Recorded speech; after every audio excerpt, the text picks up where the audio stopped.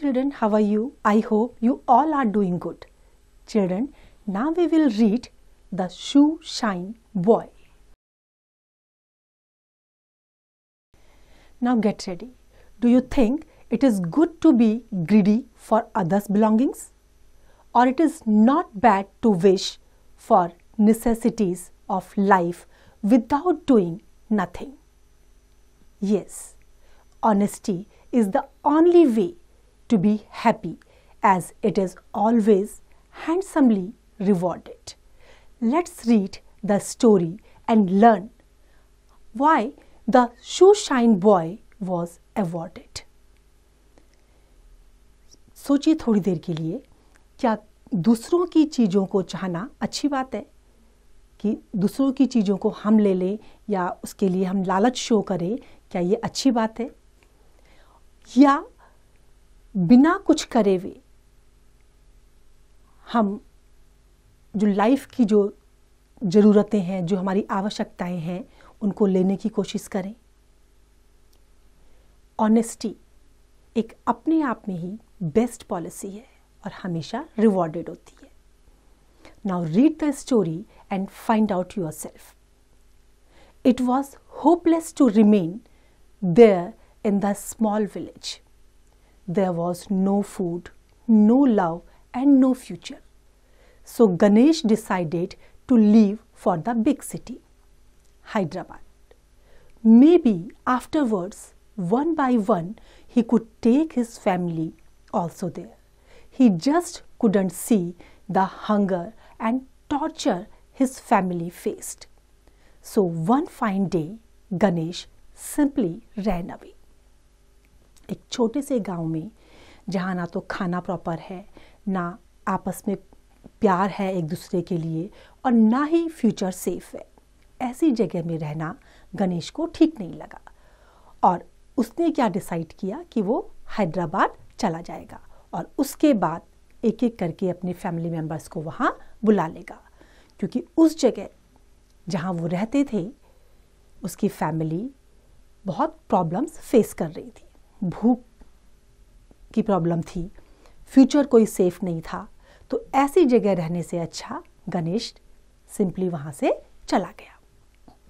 There was four years ago he was only eleven then from the day he left his house Ganesh had a difficult time in the beginning he had no food and no shelter no one cared for him he hated begging So he cleaned cars and floors of shops and served at food stalls.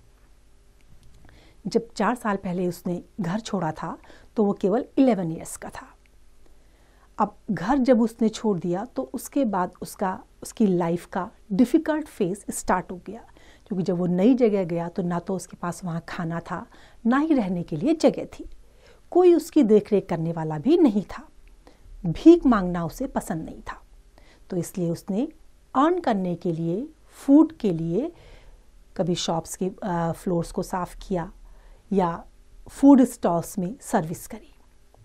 He did whatever he could do honestly for his survival अपने आजीविका के लिए, अपने जीवन के लिए वो जो कुछ भी ऑनेस्टली कर सकता था, उसने किया।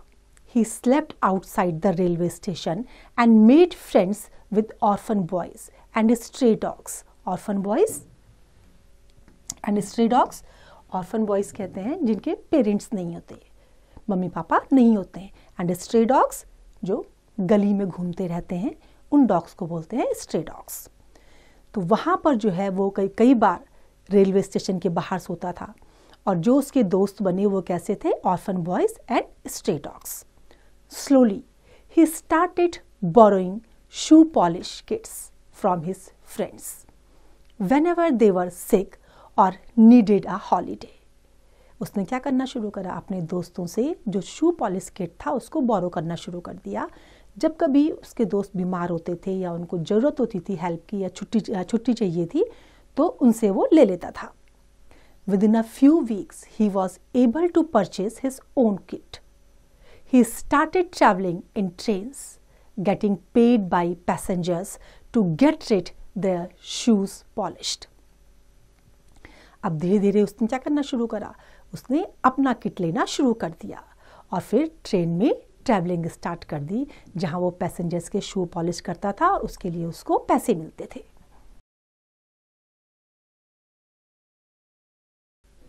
At night he always slept outside the Secunderabad railway station. Secunderabad railway station में रात में हमेशा वो बाहर सोता था।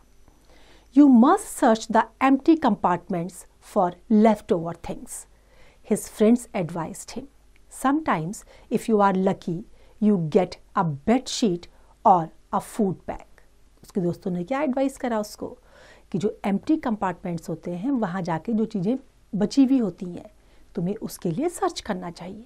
कभी कभी ऐसा भी हो सकता है कि तुम्हें वहाँ बेडशीट या फ़ूड बैग मिल जाए। The group decided which pair or trio would go on an inspection of which empty train usually they found nothing except empty plastic bottles or disposable glasses but sometimes if they were lucky they would come across some food item or a forgotten bag तो group ने decide किया कि कौन सा दो या तीन के पेयर में एम्प्टी ट्रेन में इंस्पेक्शन के लिए जाएगा और फाइंड आउट करेगा। यूजुअली जब वो वहाँ जाते थे तो उन्हें खाली बोतल या डिस्पोजेबल ग्लास ही मिलते थे। लेकिन कभी कभी अगर उनका लक अच्छा हुआ तो उन्हें फ़ूड आइटम्स और जैसे पैसेंजर या ट्रेवलर्स कुछ भूल जाते हैं बैग्स तो वो बैग भी उनको मिलते थे। Ganesh didn't like to take those things His mother had taught him to earn money by working for it. Only hard work can bring us success. She used to say, begging or stealing cannot open any magic door for us. अब गणेश को ये सारी left overs चीज़ें गणेश को पसंद नहीं थी reason उसकी मदर ने उसे हमेशा यही सिखाया था कि हार्ड वर्क से जो हम मनी अर्न करते हैं वो हमेशा सक्सेस हमारे लिए लेके आती है और बैगिंग और स्टीलिंग भीख मांगना या चोरी करना, हमारे लिए कभी भी मैजिक डोर्स ओपन नहीं कर सकते। But his new friends had taught him otherwise that accepting left overs was not a theft and no sin at all it would not harm anybody sin sin means पाप। जो उसके नए दोस्त थे, उन्होंने क्या सिखाया कि लेफ़्ट ओवर्स को लेना ना तो चोरी है और ना ही कोई पाप है, और इससे कोई नुकसान भी नहीं होगा। So on that lucky night Ganesh with Bobby and Chinu was scheduled to be on the inspection tour of a train at the end of its run Ganesh knew that Bobby was down with fever and Chinu would be trying to get tickets for a new picture that was a box office hit इसलिए जो है उस lucky रात में गणेश, बॉबी और चीनू तीनों ने जो है ये डिसाइड कर लिया। उन्होंने शेड्यूल प्रिपेयर कर लिया कि कौन इंस्पेक्शन पे जाएगा। गणेश को ये पता था कि बॉबी को फीवर है और चीनू जो है, जो न्यू पिक्चर रिलीज़ हुई है और जो बॉक्स ऑफ़िस हिट में है, उसके टिकट लेने के लिए वो कोशिश कर रहा होगा। Maybe he has got the tickets. Ganesh thought as he waited for his friends before entering the train alone. His eyes searched for leftover things as he went from one compartment to another, when suddenly his eyes fell on a small briefcase lying on an